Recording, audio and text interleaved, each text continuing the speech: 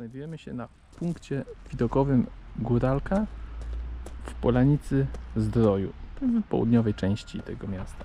Widać stąd doskonale przy dzisiejszej widoczności wynoszącej około 50 km śnieżnik z nową, nowo otwartą wieżą widokową oraz Czarną Górę, ale akurat nie widać wieży RTV na niej. Tutaj też widać końcówkę Gór Bystrzyckich w postaci pokletnicy i garncarza i tutaj dalej do góry Sępiej i tak dalej.